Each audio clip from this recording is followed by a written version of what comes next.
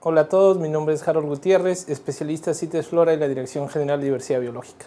El tema que vamos a ver hoy día es acerca de uno de los convenios más importantes que hay en el país. Bueno, ya mis colegas seguro han hablado de otros convenios, pero este convenio básicamente habla sobre el comercio internacional. Estamos hablando del convenio CITES. El convenio CITES eh, básicamente vamos a tratarlo en cuatro partes. Primero vamos a ver qué CITES, las definiciones, los conceptos, algunas ideas sobre esta convención. Luego vamos a ver el funcionamiento de la misma, la estructura y los apéndices. En algún momento de nuestro trabajo en el que hacer hemos hablado y hemos escuchado de CITES, las especies incluidas en CITES, pero sin embargo siempre hemos tenido ciertas ideas por aclarar. Hoy día vamos a tratar de ahondar en ello. La convención CITES, como pueden ver, básicamente lo resaltado en rojo, habla acerca del comercio internacional de especies amenazadas.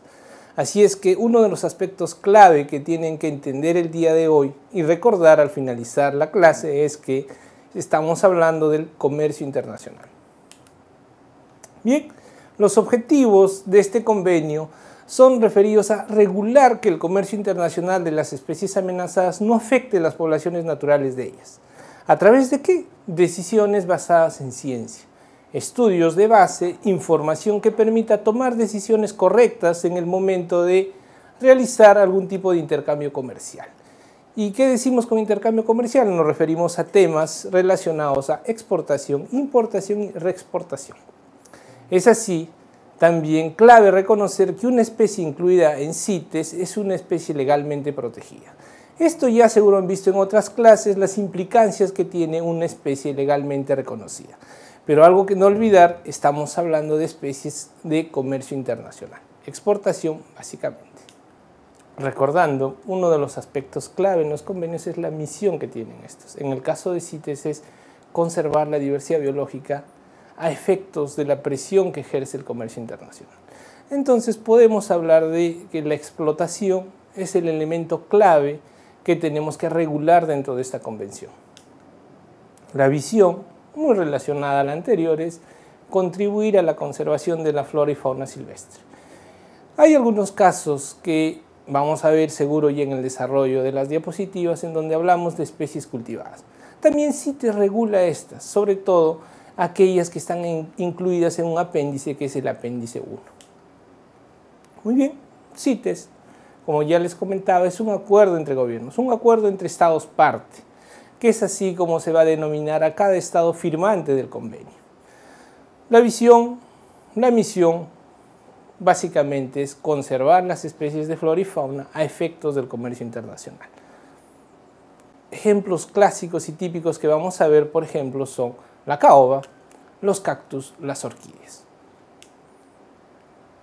Unas ideas que siempre hemos tenido en la gestión y dentro de las actividades que realizamos es, por ejemplo, si la CITES se ocupa de todas las especies silvestres que están dentro de un territorio. ¿No es así? CITES solo se ocupa de aquellas especies incluidas dentro de sus apéndices. Más adelante vamos a ver cuáles son estas especies. Pero sí debemos tener en claro que la Convención no se encarga de regular todas las especies incluidas en un territorio. Asimismo, no se debe confundir el convenio CITES con las listas de especies amenazadas. Otro tema también a tomar en cuenta en CITES es que se piensa que CITES restringe el comercio y no es así. CITES regula el comercio internacional para que éste sea sostenible. Otra idea errónea acerca de CITES es que CITES se encarga del comercio doméstico, por así llamarlo, este comercio que nosotros tenemos dentro de nuestro territorio. No es así. CITES está ligado solamente al comercio internacional. Para el comercio doméstico existe otra normatividad, otro tipo de instancias que ya están regulando este tipo de comercio dentro del territorio. CITES, recuerden una vez más, solamente es comercio internacional. Asimismo, los apéndices de CITES eh, agrupan aquellas especies que están amenazadas por el comercio internacional. Pueden ser aquellas especies que no necesariamente tienen una presión de amenaza dentro de un país. Válgase, por ejemplo, que vamos a ver casos en que orquídeas que están categorizadas todas ellas en el apéndice 1 de CITES no necesariamente van a estar en el decreto supremo de categorización de especies amenazadas de flora, o similar a aquellas orquídeas que están en el apéndice 2 que no necesariamente están dentro de alguna categoría de amenaza dentro de nuestros listados nacionales. Otro tema bastante vinculado a CITES y que siempre vamos a escuchar es que CITES es restrictivo, que pone restricciones. Tampoco es así. Tanto países productores como consumidores, es decir, los que importamos productos o exportamos productos, como en nuestro caso, somos mayormente exportadores, tenemos que tener mecanismos que permitan regular el comercio. Allí es donde van a entrar a tallar varias autoridades que vamos a verlas en las diapositivas que siguen. Otro tema también muy frecuente es ligado al Ministerio del Ambiente es que ligan al Ministerio del Ambiente como la institución o instancia encargada de dar permisos, certificados o autorizar el comercio internacional. No es así. Ello lo realiza la autoridad administrativa de cada país. Y digo la autoridad administrativa porque para nuestro caso estamos hablando de dos entidades. Bien, entonces CITES tiene una figura clave a nivel del comercio internacional a nosotros nos sitúa, nos sitúa dentro del aspecto de zonas principalmente exportadoras. ¿Por qué? Está ligado a nuestra alta biodiversidad que tenemos en especies de flora y fauna silvestre. Es así que en la zona de Sudamérica, Perú es uno de los principales países exportadores de fauna y de flora. Básicamente, eh, los países tropicales dentro del neotrópico son estos los proveedores de materia prima al resto del mundo. Los compradores, principalmente zonas de América, Europa, y uno de ellos, uno de los países con mayor consumo y ávidos importadores de fauna, Asia principalmente. ¿Y cómo funciona CITES? Esta convención eh, tiene entre sus aspectos fundamentales una estructura que la permite eh, desarrollar mecanismos de regulación bastante prácticos y sencillos. Por ejemplo, los permisos de exportación. Es un elemento clave para el funcionamiento de CITES que permite monitorear el comercio. Algunos por ello ligan que CITES, en realidad más que regular, monitorea el comercio internacional. ¿Cómo lo hace esto? A través de mecanismos y procedimientos comunes, es decir, todos los países que forman parte de CITES, en lo posible, tratan de tener lineamientos y estructuras organizacionales, autoridades administrativas, autoridades científicas, entidades de observancia, con características similares y actividades afines. Ello hace que los procedimientos sean muy similares, reglamentos similares, requisitos similares, autoridades similares, procedimientos similares y documentos similares en este punto de documentos similares, tenemos un documento estándar para todos los estados parte que viene a ser los permisos de exportación CITES, que es el único documento que acredita que una especie proceda de un manejo sostenible o haya sido verificada por una autoridad científica. Me adelanto en un término que vamos a verlo en la siguiente diapositiva. Muy bien, entonces para el funcionamiento de CITES tenemos un punto relacionado a que este convenio designa autoridades. Había mencionado las autoridades administrativas y la autoridad científica y entidades de observancia. Esto es lo que tiene que hacer cada Estado parte dentro de la Convención CITES. Luego tenemos un aspecto ya de funcionamiento propio que es prohibir el comercio ilegal, penalizar en algunos casos y confiscar cuando se dé el caso. El funcionamiento de la estructura orgánica dentro de CITES. Hablábamos acerca de las autoridades vinculadas a la convención. Para el caso peruano tenemos dos autoridades administrativas. Es algo que tenemos que ir viendo ya. Más adelante vamos a comentar cuáles son y son fácilmente reconocibles. Eso sí les, eh, les voy adelantando. Bien, la autoridad administrativa es aquella responsable de los aspectos de gestión, temas burocráticos, es decir, permisos, certificados, verificaciones.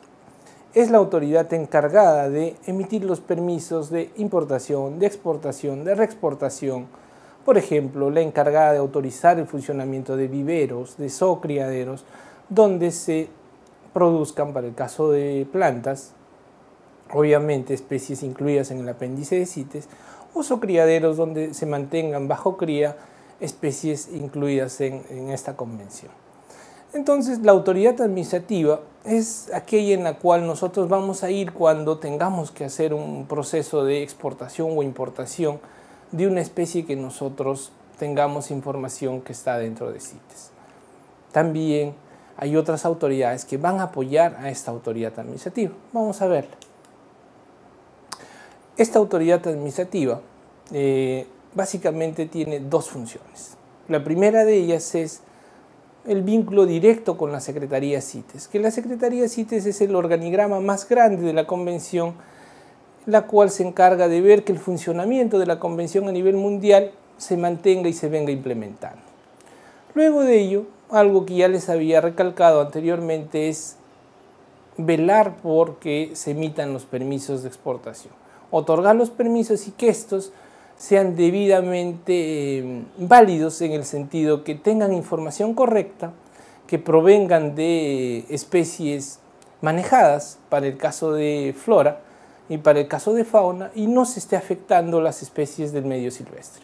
Algunos casos sí se puede aprovechar especies del medio silvestre, pero se requieren cumplir con ciertos requisitos.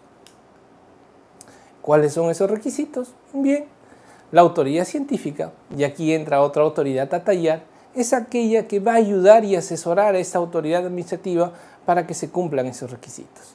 En este caso, la autoridad científica es aquella que se encarga, por ejemplo, de identificar los especímenes, identificar las especies. Digo especímenes porque se refiere a una parte o alguna estructura de una especie, por ejemplo, pueden ser plumas en el caso de aves, en el caso de plantas puede ser madera o la planta completa, pueden ser hojas, pueden ser frutos o una planta entera, como por ejemplo en el caso de cactus u orquídeas. Una de las funciones de esta autoridad científica es elaborar los dictámenes de extracción no perjudicial, que es este instrumento clave que permite asegurar y regular que el aprovechamiento y extracción de una especie de su medio silvestre no se vea afectado por los volúmenes de exportación que tenga que pensar realizarse o alguien piensa realizarlo. Un ejemplo clásico de esto, por ejemplo, es eh, acerca de cómo se aprovecha la caoba en el país. Es a través de la determinación de un cupo de exportación anual, pero este cupo que nos fije el número de árboles o el volumen a aprovechar se basa en un dictamen de extracción no perjudicial que nos indica cuántos son los árboles máximos aprovechables dentro de una zafra que no afecten el estado de conservación o las poblaciones remanentes de la caoba que tenemos en nuestros bosques. Bien, otra de las funciones también claves de la autoridad científica es recopilar, analizar la información referida a aspectos biológicos, ecológicos, distribución, tamaños poblacionales, aspectos ecológicos relacionados a si hay subpoblaciones o no hay subpoblaciones, cuál es el tema acerca de si hay deterioro genético o no hay deterioro genético, si existen problemas de ilegalidad en cuanto a la extracción y estas están presionando negativamente a las poblaciones. Estos son puntos que la autoridad científica tiene que analizar antes de recomendar o asesorar a la autoridad administrativa si es viable o no es viable un proceso de exportación. Asimismo, un punto clave es analizar las propuestas de enmienda, que no son otra cosa que decir cambiemos una especie de un apéndice a otro. Comento apéndice, pero ya vamos a ver a qué se refiere un apéndice dentro de CITES. En nuestra gestión el día a día, muchos ya hemos escuchado especies incluidas en los apéndices. Entonces, también hay autoridades de apoyo, autoridades que ayudan en el cumplimiento o el brazo operativo de las autoridades administrativas que vienen a ser las entidades de observancia. Entre las funciones de estas entidades de observancia es el control, apoyan en las inspecciones, participan en algunos decomisos y son órganos de apoyo de la autoridad administrativa básicamente. Ahora sí, vamos a ver la estructura dentro de nuestro país. Vamos a encontrar dos autoridades administrativas claramente distinguibles, como es el caso del CERFOR, Servicio Nacional Forestal y de Fauna Silvestre y el Ministerio de la Producción. Una de ellas, el CERFOR, para especies que se reproducen en tierra y él produce para aquellas especies hidrobiológicas. En el caso de eh, Perú tenemos estas dos autoridades, hay países que tienen una, hay países que tienen dos, esto depende de cada país cómo implementa la convención. En el caso peruano nos hemos dividido por especies que se reproducen en tierra y especies que se reproducen en eh, ambientes acuáticos. Entonces tenemos a Produce y Serfor, no olvidar como autoridades administrativas, y una autoridad científica que es el Ministerio del Ambiente. Esta autoridad científica, para cumplir eh, sus funciones, acredita instituciones con expertos en las temáticas de flora y fauna, de aquellas especies incluidas en los apéndices. Y luego el brazo operativo o apoyo a todas estas autoridades son las entidades de observancia, como por ejemplo el OSINFOR, el Ministerio Público, la Fiscalía, los gobiernos regionales, ahora las eh, autoridades regionales forestales, e incluye también algunas regiones donde todavía se tienen las ATFs o administraciones técnicas forestales y de fauna silvestre. Entonces, esta es la estructura y el funcionamiento dentro de CITES en el país. Vamos a recordar, eh, al comenzar hablábamos acerca de ideas erróneas, espero con esta lámina un poco se aclare el tema. Tenemos dos autoridades administrativas que van a ver los temas burocráticos, el tema de permisos, concesión de autorizaciones, a cargo del CERFOR y a cargo del PRODUCE, y una autoridad que trabaja y asesora a ellas, que está detrás, que es el Ministerio del Ambiente, como autoridad científica. Y las entidades de observancia que apoyan en el cumplimiento e implementación de los mandatos de CITES. Algo que también debemos recordar es que CITES es jurídicamente vinculante, esto ya lo habíamos mencionado. Es decir, que las enmiendas o aplicaciones dentro de la convención tienen rango de ley dentro del uso de funcionalmente y operativamente dentro de las instituciones que vienen implementándola. Es decir, tienen que adecuarse también a los reglamentos, como en este caso el reglamento actual de forestal y de fauna silvestre, incluye y recoge aspectos del texto de la convención respecto a administrativas. Toman en consideración en la aplicación de sus reglamentos propios el texto de la convención CITES. Es así que para el caso del reglamento de la Ley Forestal y de Fauna Silvestre se han incluido aspectos de comercio internacional, como es el caso de el comercio de especies ornamentales, que incluye a cactus y orquídeas, que están incluidas en CITES. Todas estas deben provenir únicamente de cultivo, provenir de viveros. Por ejemplo, es uno de los aspectos más restrictivos que tenemos dentro de los países y también es en salvaguarda de nuestras poblaciones naturales. Un tema clave en el funcionamiento de las autoridades CITES en el país es que el 2009 se conformó un grupo de trabajo CITES que permite articular todas las autoridades vinculadas en la implementación de CITES. Tenemos el Ministerio del Ambiente como autoridad científica, el CERFOR, produce Ministerio de Relaciones Exteriores como vocero, el OSINFOR y otros participantes más que son invitados, como el caso de Mincetur, por ejemplo, que juega un rol importante en los tratados de libre comercio, porque recordemos, CITES básicamente es comercio internacional. Bien, ya he hablado bastante en algunos casos de los apéndices y ahora vamos a ver qué son los apéndices. CITES enlista algunas especies dentro de tres apéndices. Estos apéndices son el apéndice 1, 2 y 3. Y en la figura van a ver, a manera de semáforo, el apéndice 1 o en rojo, que nos indica aquellas especies que tienen problemas en sus poblaciones naturales y que una actividad comercial los puede llevar a procesos de extinción o desaparición, mm, por decirlo en términos sencillos. Este apéndice no se permite el comercio internacional, salvo algunas excepciones, pero no con fines comerciales. Por ejemplo, un fin de ellos es el fin científico o académico de intercambio entre países para hacer estudios o para recabar información sobre estas especies enlistadas en este apéndice. Los apéndices de CITES es un listado de especies que vamos a encontrar para flora y para fauna. En ellas se han categorizado tres, lo que llamamos el apéndice 1, el apéndice 2 y apéndice 3. El apéndice 1, a manera de semáforo, hemos puesto el color rojo, porque es aquel apéndice en donde se encuentran aquellas especies que tienen problemas relacionados a una amenaza alta que los puede conllevar a la extinción.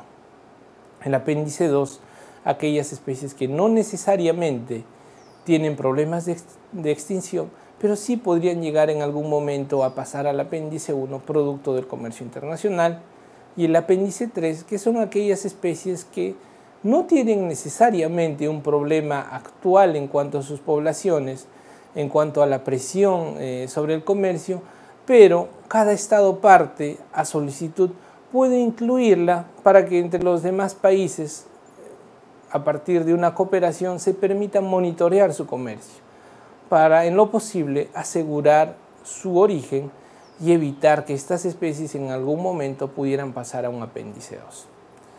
Entonces tenemos tres apéndices eh, que nos indican los niveles de amenaza, por así llamarlo en términos sencillos, en el cual se ubica una especie. El apéndice 1, recordar, este apéndice no se permite el comercio internacional, el tipo de transacción comercial sobre ellas no es posible, es bastante restrictivo en este aspecto CICITES, pero sí se permite el intercambio con fines científicos. Es lo que le llamamos las exenciones.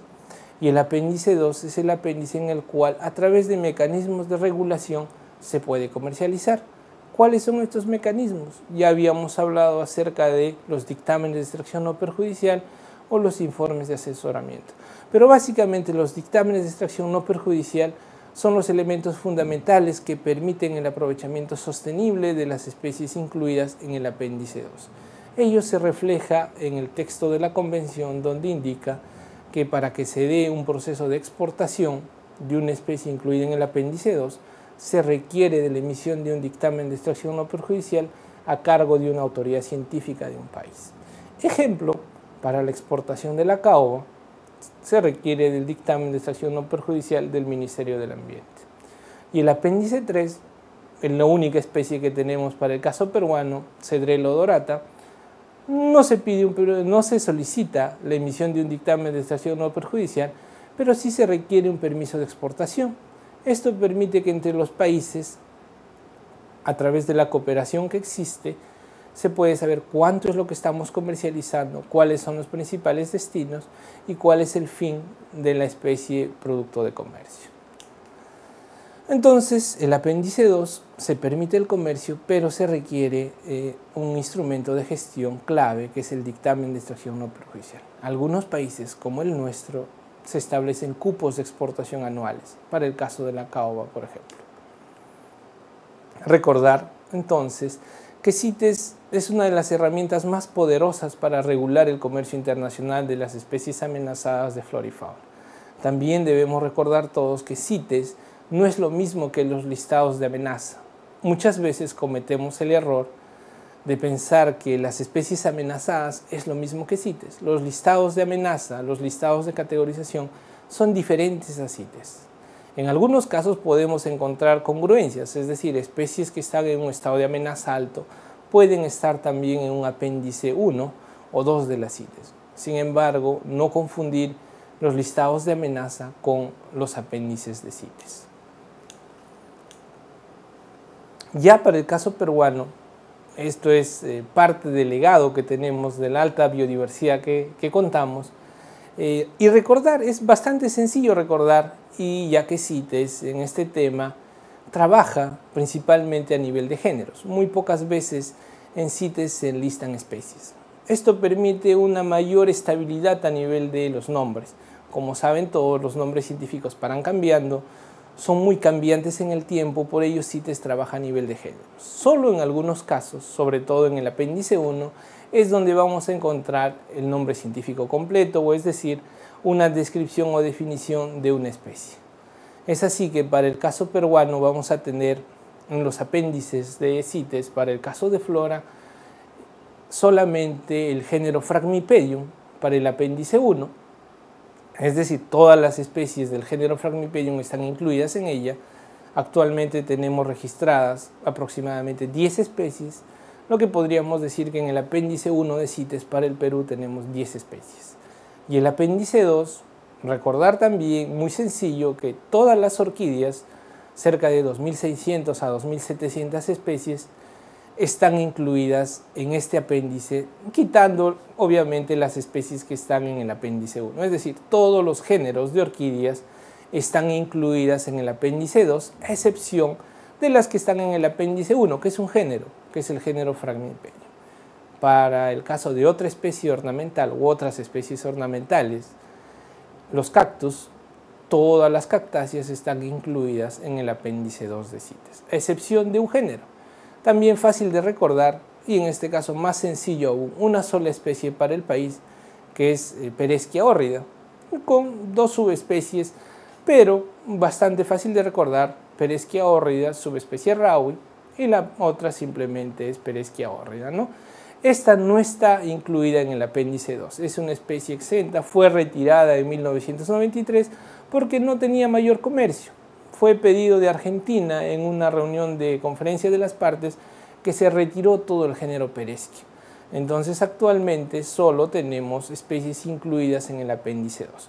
Claro que hay cactus en el apéndice 1, pero son de distribución de, Brasil y de México, no dentro de nuestro territorio. Por ello, recordar, todos los cactus peruanos están en el apéndice 2, excepción de uno, que es Peresquia orris. Y el apéndice 3 no tenemos ninguna especie no maderable, no tenemos cactus, no tenemos orquídeas en este apéndice, pero sí tenemos una, que es un árbol, que es cedrelodorata o cedro. Ahora ya para comentar un poco de las especies maderables, el emblema eh, por la gestión y el trabajo que ha demandado para el país es la caoba que está incluida en el apéndice 2, es Witenia macrófila.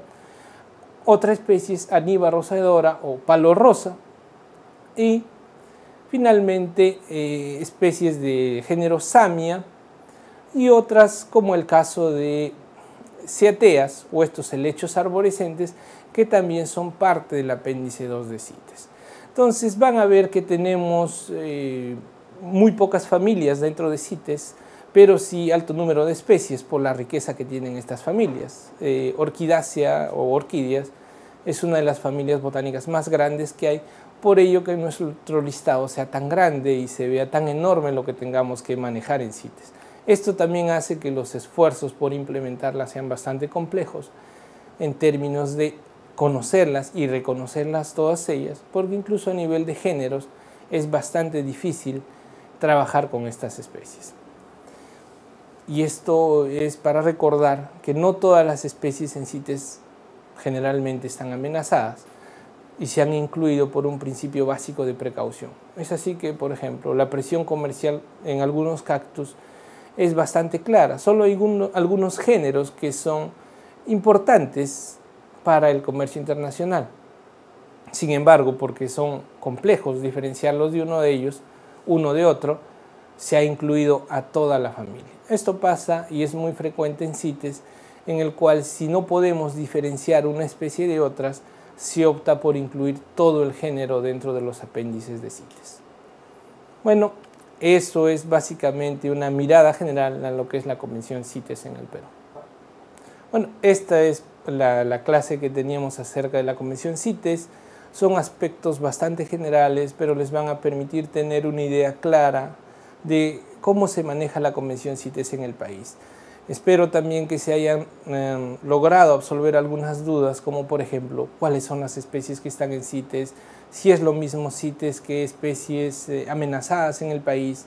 Y algo clave recordar, CITES estamos hablando de comercio internacional para el comercio nacional, comercio local o doméstico, ya existe otro tipo de normativa, otro tipo de mecanismos de regulación que no son vistos bajo CITES. Bueno, gracias.